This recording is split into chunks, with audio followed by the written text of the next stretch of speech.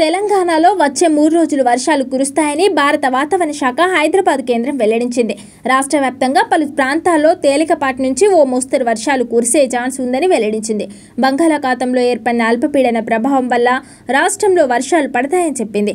నిజామాబాద్ కామారెడ్డి జగిత్యాల సిరిసిల్ల మెదక్ వికారాబాద్ సంగారెడ్డి యాదాద్రి భువనగిరి నల్గొండ జిల్లాల్లోని కొన్ని ప్రాంతాల్లో వర్షాలు కురుస్తాయని చెప్పారు. ఇక చాలా రోజుల తర్వాత రాష్ట్రంలోని పలు జిల్లాల్లో ఆదివారం భారీ వర్షాలు కురిశాయి.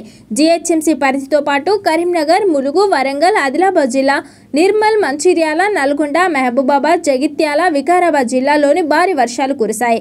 భద్రాద్రి కొత్తగూడెం జిల్లా దమ్ముగూడెంలో నూట ఇరవై పాయింట్ నాలుగు మిల్లీమీటర్ల వర్షపాతం కురిసినట్లు వాతావరణ శాఖ అధికారులు వెల్లడించారు. ఆసిఫాబాద్ జిల్లాలో నూట పదిహేను మిల్లీమీటర్లు కామారెడ్డి జిల్లాలో అరవై నాలుగు పాయింట్ ఐదు మిల్లీమీటర్లు రంగారెడ్డి జిల్లా పెద్దషాపూర్లో నలభై రెండు మిల్లీమీటర్లు నిజామాబాద్ జిల్లా కమ్మర్పల్లిలో ముప్పై ఏడు పాయింట్ మూడు మిల్లీమీటర్లు భూపాలపల్లి జిల్లా పెద్దంపేటలో ముప్పై రెండు పాయింట్ ఐదు మిల్లీమీటర్ల వర్షపాతం నమోదైంది.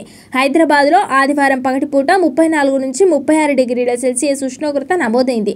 ఆ తర్వాత సాయంత్రానికి పలు ప్రాంతాల్లో భారీ వర్షం కురిసింది.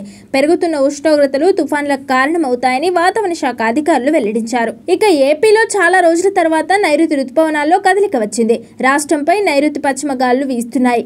ఈ ప్రభావంతో ఉత్తర దక్షిణ కోస్తాంధ్ర ప్రాంతాల్లో వర్షాలు కురుస్తున్నాయి. రుతుపవనాల ప్రభావం రాష్ట్రంలో మరో రెండు రోజుల పాటు ఉంటుందని అంచనా వేస్తున్నారు. ఇవాళ ఉత్తర కోస్తాలో కొన్ని చోట్ల దక్షిణ కోస్తా రాయలసీమల్లో అక్కడక్కడ తేలికపాటి నుంచి మోస్తరు వర్షాలు కురిసే ఛాన్స్ ఉందని వాతావరణ శాఖ అంచనా వేసింది.